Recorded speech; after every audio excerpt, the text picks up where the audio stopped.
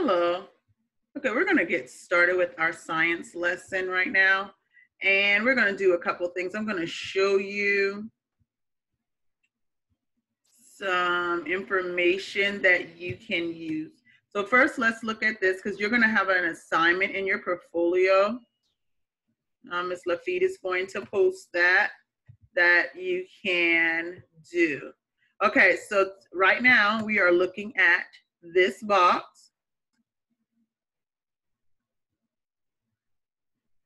Let me lock this meeting to make sure nobody could get in. Okay, so we are looking at this box right here.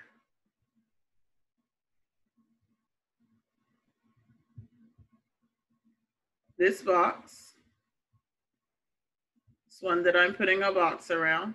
And this is what your assignment is going to be for today. And this is something that we have already done. This is something that we have already done. So students should be able to, to work on it. And this is from the technology video. And so if you open this up, School Then and Now, it will take you to PebbleGo. And I believe I sent this, let me erase that box. I've sent this video, I sent these to you, but I have them in here so that we can go through it together. Okay, so this takes you to PebbleGo and I'm just gonna go ahead and go into PebbleGo through through here so that you could see what it is we're doing. We're looking at school then and now. Um, and you also have access to Macambia through Clever. And we're going to Pebble Go and it's social studies. So we're gonna open that up.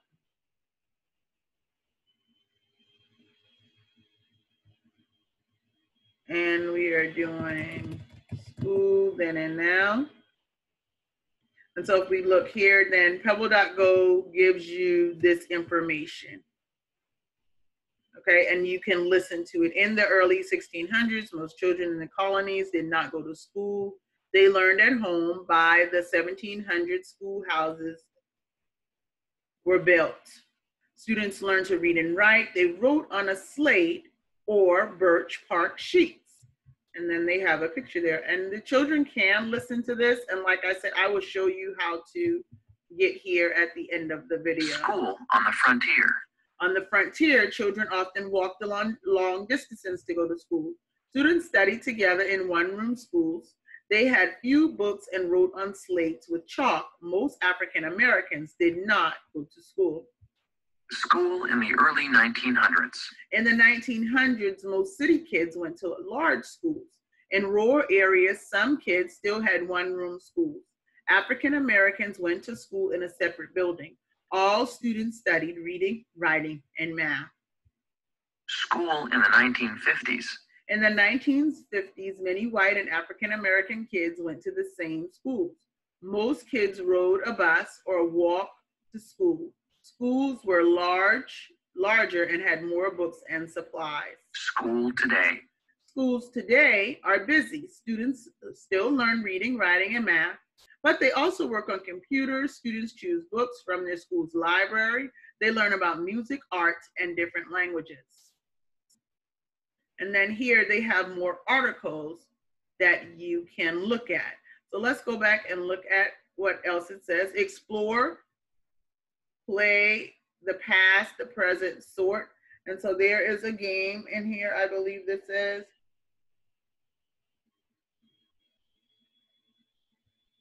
A past and present. And like I said, my kids and I have already done these things, so they know exactly what to do. So here you would print out if you like, and you don't have to, and let them tell you what things belong in the past, and what things belong in the present, what belongs in the past, what belongs in the present. And these are things, and there's one in here, there's a colored one and there's one in black and white that they can use to do this. And I'm going through it really, really fast because like I said, it's a review. So this is the box that they're working in. And then explain your learning. Draw a picture of yourself in kindergarten and then draw a picture as a sixth grader. What will you look like as a sixth grader? List the ways that you are different and that you will be different in sixth grade than you are now in kindergarten. Okay. So with this, they are researching schools then and now, families and children. How are they alike and how are they different now than they were a long time ago? And then they're going to explain their learning. They're going to draw a picture of themselves now in kindergarten and then draw yourself as a sixth grader. List the ways that you are different in sixth grade than in kindergarten. So this is the box that they're working in, science, social studies. Okay, this is the one that they are going to do for today. Okay, now for those of you that cannot access the technology, for those of you that are not able to access that now, there's another science or social studies that you can do, and it's kind of the same. It says draw a picture of you working with your teacher, and you could still do the same lesson, but this is also here for you. Okay, you could do it also. Draw a picture of you working with your teacher. Write down a few things that your teacher has taught you this year. Write one thing that you miss about seeing your teacher each day at school. And so that was, this is the first box in this one. And these things have been emailed to you, but this right here, I want to make sure you know what's going to be in your portfolio, what's going to be assigned. Okay? Right here, explain your learning. Draw a picture of yourself now in kindergarten, and then draw yourself as a sixth grader. List the ways that you are different in sixth grade than in kindergarten. So how will you be different in sixth grade than you are right now in kindergarten? What are some things that would be different? So when you draw your picture, think think about that. What are some things that are going to be different? Okay? How are you going to be different? Are you going to be the same size? Are you going to look the same? What, what's going to be what's going to be different? Okay? All righty. So that is social studies for today. Now we are going to move into our science lesson. And so I'm going to close out some of these screens. This is going to be our read aloud for today. I'm going to post that for you. Um, but we're going to go here and we're going to talk about classifying animals today. We're going to talk about classifying animals. And remember, we started chapter two a long time ago. And I'm going to show you what this is. And there is a pickup on Wednesday. So if you did not get your open court book and your science book yet, I just talked to Miss Lafitte. They have not been mailed out yet you can come on Wednesday from 1 to 2.45. And I'm saying 2.45 because at 3 o'clock we need to be packed up and ready to leave the school. Um, and it's going to be a drive-through, I believe, just like it was before. Um, there's a place for you to drop off work that is already completed. So if you have not put those in your portfolio, you can bring them and drop them off into at the school and then there will be a pickup. And so then you can get your open court book, your science book, and your social studies book at that time. Okay. And I am going to try and be there. I really, I'm not supposed to be outside too much, but I will try and be there around that time so that I could see some of you as you come by. Um, they're not letting a lot of us come in the come into school, but I will attempt to be there, um, depending on protocols. Okay, because we have to follow protocols. But remember, we started this chapter, plants and animals. What are these? What are, what are, what are these? Hmm? I think they're alligators. That's what I think. because you know alligators and crocodiles, one has a longer snout. And I think an alligator's snout is longer than a crocodile's. A crocodile's is more rounded than an alligator's. So that's something we can investigate. So our performance ind- indicators, we're going to describe living things, explain what animals need, because we already did plants, describe animal bodies, describe and explain what animals need, and explain why animals live, why living things live in certain places. So we are going to compare and contrast. And so one of our questions are going to be, what are plants and animals like? So that's one of our questions. So for our first lesson, so this is something that we are going to figure out. What are plants and animals like? Okay, so there's that. We already did that. We already did that. Okay, so we're gonna do lesson one today. Okay, this is lesson one. How can you sort animals? And another word for sort that I want you to know is classify. How can we classify animals? Say the word classify.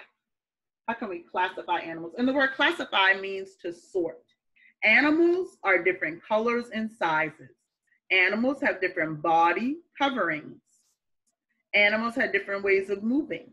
Look at the animals in the picture. Which animals are alike in one way? So let's look at these animals. Let's see what do we have on here. What is that, a snake? Ew, I don't like snakes. Frog, fish, giraffe, bird. What is one way that all of these animals are alike? What's one way all of these animals are alike? What do you think? Tell me how you think they are alike. Hmm. And so then when you get your science book, or if you already have it, because some people already have theirs, this is the page you are going to do. You see the number in the bottom? It says activity 14. How can you sort animals? Circle the animals that are the same color. Circle the animals that are small. Circle the animals that have fur. Okay, and then you can post that to your portfolio. That's lesson one. Okay, that's lesson one. And we are going to look at a BrainPOP video on classifying animals. Ms. Burns already has set up for you.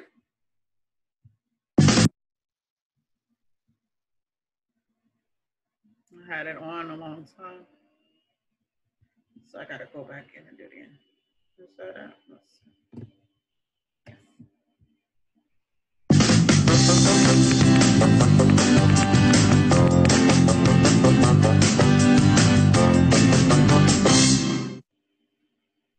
Aren't you excited for our trip to the zoo? I can't wait to see all my favorite animals. How do we classify animals? When you classify, you sort things into groups to show how they are alike. Because there are many kinds of animals, it can help to classify them in different ways. All animals are divided into two main groups, vertebrates and invertebrates. A vertebrate is an animal that has a spine or backbone. People are vertebrates. You can feel your spine going all the way up your back and through your neck. Lions, fish, birds, snakes, and even turtles are all vertebrates. An invertebrate is an animal that does not have a spine. Insects like butterflies and grasshoppers are invertebrates. So are spiders, worms, mussels, starfish, and squid. Most of the world's animals are invertebrates. Scientists classify vertebrates and invertebrates into even more groups. Hmm, what are mammals? Mammals are vertebrates that get milk from their mothers when they are very young. They breathe air with lungs and have hair or fur. Right, Moby. People are mammals. Some mammals live in water, like whales. But they still have lungs to breathe oxygen, so they need to come up for air. They even have hair. The smallest mammal in the world is the bumblebee bat. It's about the size of a thumb. Bats are the only mammals that fly like birds. But what are birds? Birds are vertebrates, and they're the only animals that have feathers. Birds have a beak, two wings, and two legs. They also lay eggs and most care for their young. No, Moby, not all birds fly. Penguins are flightless birds. They dive and swim to hunt for fish. Hmm, what are fish? Most fish are vertebrates that live in water. Fish have gills to help them breathe and take in oxygen out of the water. Many have scales, which help them move through the water. Sharks and stingrays are also fish. They have gills, but they don't have scales. Their bodies are made out of cartilage. It's the same stuff that's in our nose and ears. Some animals spend time in water and on land. What are amphibians? Amphibians are animals that have adapted to live on water and land. Right, frogs are amphibians. They hatch from tiny, soft eggs in the water. When they're tadpoles, they breathe through gills and live underwater. As they get older, most frogs grow lungs to help them breathe on land. Many amphibians can breathe underwater through their skin, which takes oxygen out of the water. Toads, salamanders, newts, and caecilians are all types of amphibians. Amphibians are cold-blooded. Not exactly, Moby. Cold-blooded animals use the environment to help control their own body temperatures. They can use heat from the sun to warm up, or they might use water or shade to cool down. Insects, most fish, and most reptiles are cold-blooded animals. What are reptiles?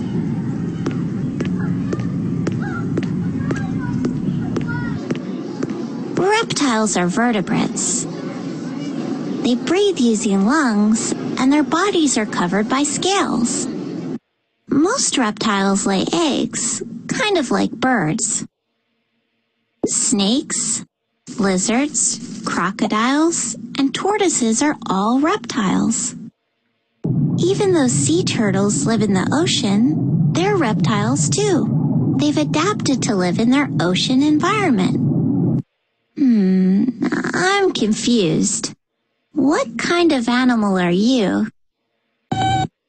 You're definitely not a reptile, Moby.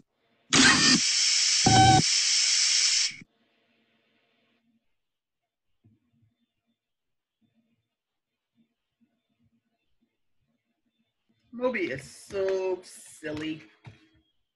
Okay, so that's our lesson for today on animals.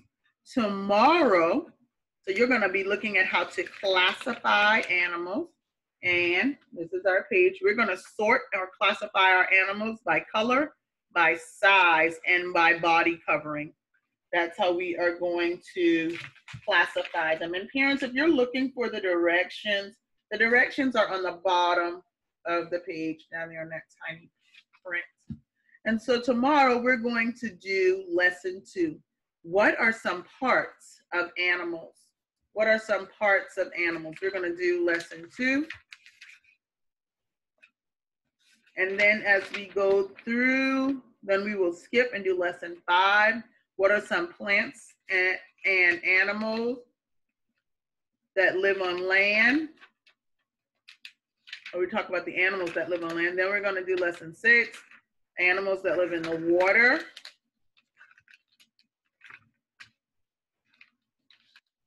We're going to look at our STEM, the basic needs of animals.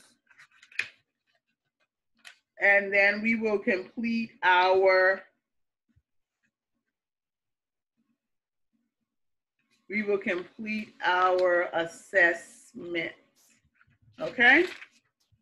And by the time we get ready to do our assessment, you should everybody should have their book and then you will not need to copy anything. I hope you all have a great day.